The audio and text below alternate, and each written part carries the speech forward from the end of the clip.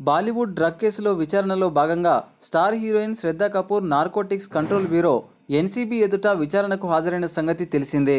ఇటీవల మరణించిన హీరో సుశాంత్ సింగ్ రాజ్పూత్ తన ఫామ్ హౌస్లో నిర్వహించిన డ్రగ్ పార్టీలో శ్రద్ధ కపూర్ కూడా పాల్గొన్నారనే అభియోగాలతో ఆమెకు ఎన్సీబీ అధికారులు నోటీసులు జారీ చేశారు. టాలెంట్ మేనేజర్ జహసా చాటింగ్ ఆధారంగా ఈ విషయం వెలుగులోకి వచ్చిందని తెలుస్తోంది.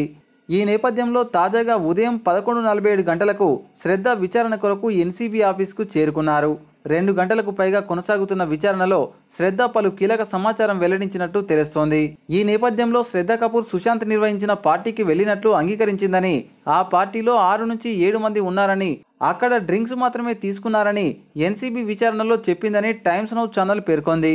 అంతేకాకుండా అక్కడ డ్రగ్స్ తీసుకోలేదని ఆ పార్టీ నుండి అందరికంటే ముందే వెళ్ళిపోయారని శ్రద్ధ స్టేట్మెంట్ ఇచ్చినట్టు టైమ్స్ నౌ వెల్లడించింది. ఇక ఈ కేసులో విచారణకు హాజరైన దీపిక పదుకొనే నాలుగున్నర గంటల పాటు విచారణ అనంతరం ఎన్సీబీ ఆఫీస్ నుండి బయలుదేరి ఇంటికి వెళ్ళారు. ఈ విచారణలో తన మేనేజర్ కరిష్మా ప్రకాష్తో రెండు వేల పదిహేడులో అక్టోబర్లో డ్రగ్స్ చార్జ్ చేసినట్టు దీపిక అంగీకరించిందని టైమ్స్ నో పేర్కొంది. మొత్తంగా ఈ కేసులో శ్రద్ధ కపూర్ దీపిక పదుకొనే అడ్డంగా బుక్ అయ్యారని చెబుతున్నారు.